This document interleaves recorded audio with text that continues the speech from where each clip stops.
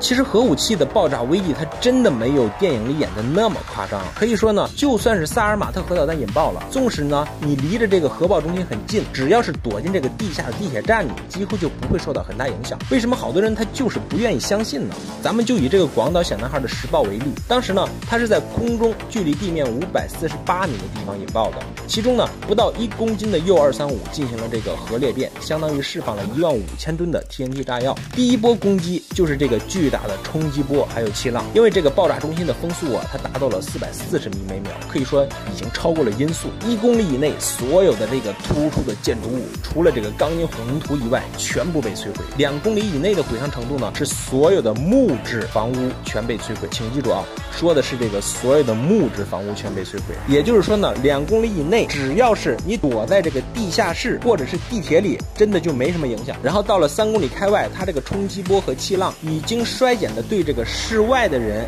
也不会造成生命危险了。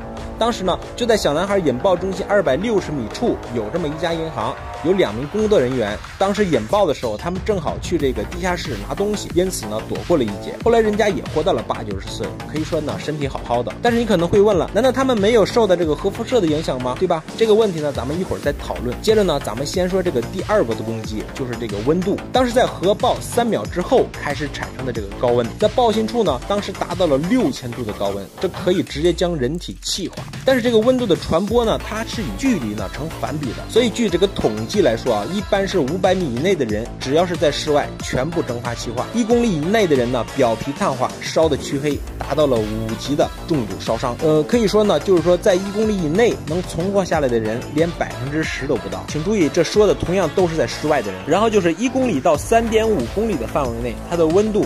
依然可以维持在二百五十摄氏度，让这个木材达到自燃。但是三点五公里再往外，温度衰减的更快，几乎呢就对室外的人也没什么影响了。所以呢，这个高温的杀伤半径，我们就把它定在这个三点五公里以内。最后呢，咱们再说这个大家特别担心的核辐射问题。